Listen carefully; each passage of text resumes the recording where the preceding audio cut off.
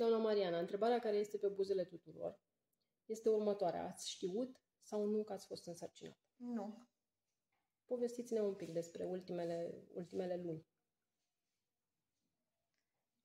Au fost normale, adică uh, din punct de vedere uh, medical, ați avut menstruație? Da, am avut în luna trecută. Luați și anticoncepționale? Da. Fusese prescrise de medicul de familie sau... Nu, le-am luat de când am făcut prima cezariană, naștere. Ați ajuns la spital din ce motive? Pentru că aveam o infiltrație, o gălcă la buric, ca să văd dacă e de operat sau nu, sau ce zice domn doctor.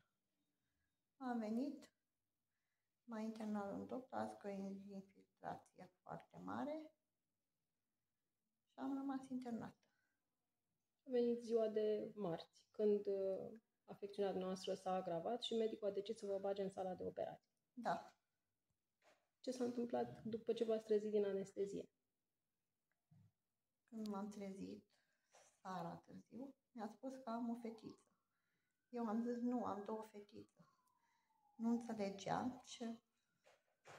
Și a zis că am născut o fetiță. A rămas șocată, impresionată. Cum să am o fetiță, că eu tot și am cam două, nu, nu realizam. Eu am două fetițe gemene acasă. Am o fetiță. După ce v-ați revenit din șoc, ce a urmat?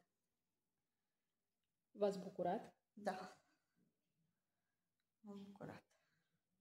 Mulțumesc domnișoara doctor, militarul, ea era, domn doctor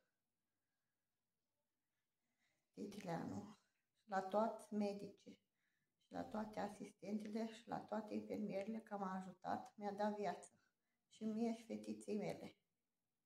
Și, și domn doctor Barbu. La toată lumea, la toți medicii, la toată medicina. Mulțumesc din suflet că m-a salvat de la viață. I-ați ales un nume micuței? Nu, până acum. Cine o să-i aleagă? Fetițele, surioarele. Au văzut-o? Azi. Și ce v-au povestit? Ce au zis? V-ați bucurat împreună? Da. Așteaptă acasă și pe mine și pe surioara lor. Și soțul dumneavoastră ce a zis? E bucuros. Toată lumea. Să fiți sănătoși.